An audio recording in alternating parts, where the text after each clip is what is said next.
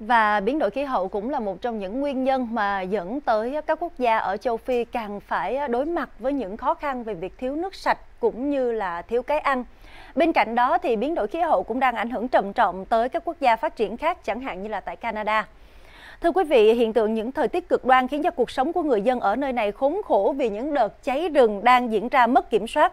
Nhiệt độ cao kỷ lục đã gây ra hàng chục vụ cháy rừng trong bối cảnh miền Tây Canada tiếp tục phải hứng chịu một đợt nắng nóng kéo dài. Ngày 29 tháng 5, chính quyền thành phố Halifax phía đông Canada đã phải ban bố tình trạng khẩn cấp sau khi cháy rừng vẫn tiếp diễn, gây ra mất điện trên diện rộng. Được biết, tình trạng khẩn cấp sẽ có hiệu lực trong vòng 7 ngày. Trước đó, khoảng 90 đám cháy rừng do nền nhiệt cao bất thường tiếp tục bùng phát ở tỉnh Alberta của Canada.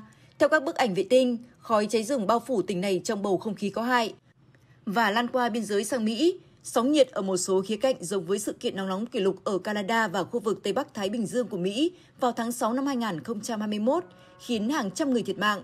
Các trận cháy rừng dữ dội vào mùa xuân ở tỉnh Alberta gợi nhớ đến trận cháy rừng Fort McMurray trong năm 2016, được coi là một trong những thảm họa thiên nhiên gây thiệt hại lớn nhất ở Canada.